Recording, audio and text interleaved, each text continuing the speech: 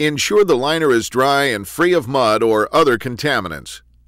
To solidify the Firestone EPDM geomembrane corner seam, apply Quick Prime Plus primer along each wall. Test the primer flash off by touching the primed area with your finger and pushing forward at an angle. The primer should not string as your finger is moved up and away. Adhere the 3-inch quick seam splice tape to the primed surface of the bottom panel. Remove the release paper and adhere the Firestone EPDM geomembrane flap to the splice tape to create a sealed seam. Using a hand roller, roll the seam to ensure adhesion at all points.